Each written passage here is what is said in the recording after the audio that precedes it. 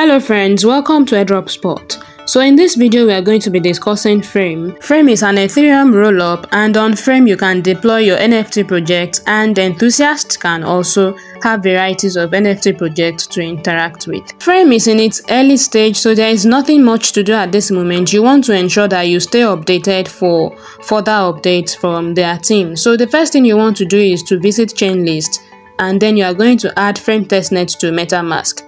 I am going to have the link to the to chain list in the comment section for your convenience. So tap on approve, then switch your network to Frame testnet.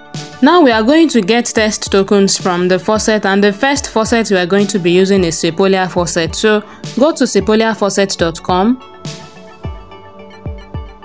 Paste your wallet address, check the box, the capture box at the bottom and then tap on send me ETH and you are going to get 0.5 Sepolia ETH. Next, we are going to frame faucet itself. However, the faucet didn't work for me, but it may be another experience on your end. And even if it does not work for you, just like it happened to me, that's nothing to worry about. We can still go ahead with the testnet interactions. So here you are going to paste your wallet address, then tap on request ETH. However, when I tapped on this, it kept telling me that I have requested uh, ETH before. And this is my first time of visiting this website today. So I was encountering this error and if it happened to you, just let's move on with the next step. So we are going to be using frame bridge. We are going to frame.xyz slash bridge.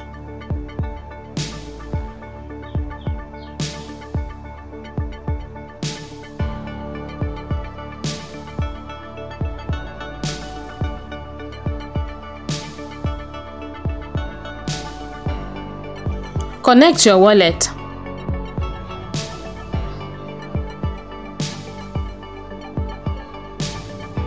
Choose MetaMask. Tap on Next and tap on Connect. Then you are going to have to switch your network to Sepolia because that is where we'll be we'll start our operation from. So you are going to be on the deposit tab and you want to make sure that your sender chain is Sepolia testnet and your receiver chain is frame testnet. Now you are going to indicate the amount of Sepolia ETH that you want to bridge to frame testnet. So I'll be bridging 0.25. Then tap on deposit.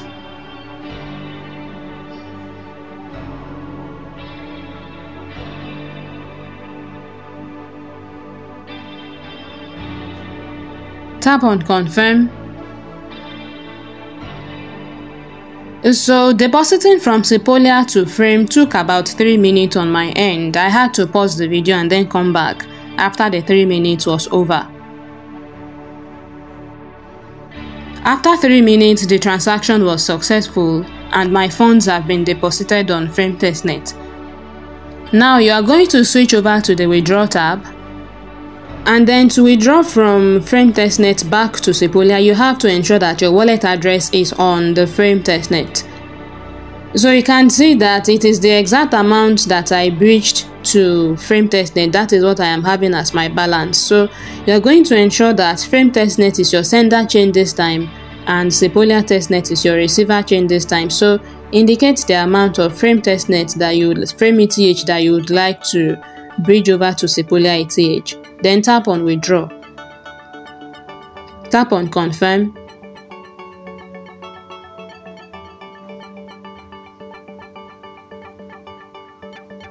Tap on confirm again.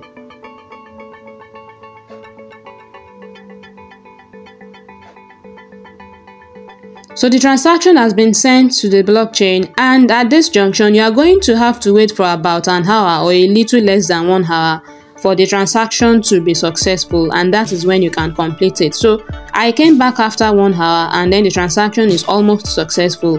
What is next now is that you are going to tap on claimable at the bottom of your screen. You can see claimable 1. You are going to tap on it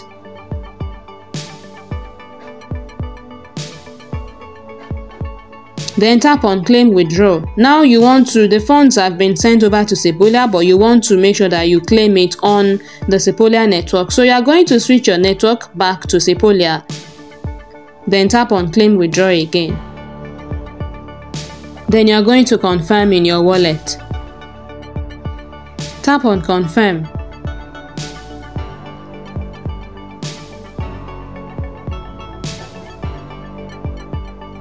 Now the claiming is done and that means that the transaction has been completed. We are going to move over to the next item. They also have quests, so we are going to frame.xyz slash quests. There is only one available quest at the moment, but however we are going to do it and then stay updated for new updates later. So they currently have two quests but only one is available at the moment and that is bridging to frame. We have already done that, you don't need to do anything else at this stage. Just tap on that card and then tap on claim badge. To claim the badge you would have to be on the frame testnet this time. So tap on confirm. The claiming is successful and that gives you I think 10 points or 15 points, I don't know.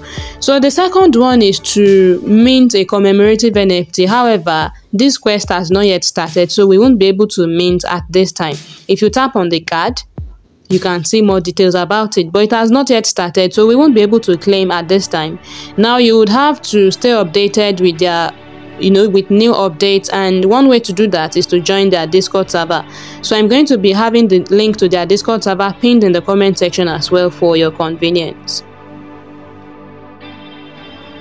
So here i'll be joining their discord server and i'll complete my verification. You should also do the same. So i'll tap on accept invite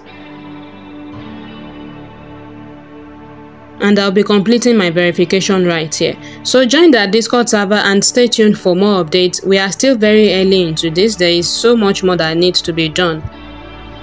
Arbitrum Odyssey quest for week 6 will be live in some minutes from now and then the tutorial will be out on my channel at around noon tomorrow. So you want to make sure that you are subscribed to my channel so that when I release the video tomorrow, you'll be able to see it. If you have any questions about this tutorial, do drop me a comment in the comment section and even if it is about any other tutorial that we have done on this channel before. So, if you have found value in any of my contents, don't forget to give me a like and also subscribe for more. Thank you for watching and I will see you in Arbitrum Odyssey Week 6 tutorial tomorrow.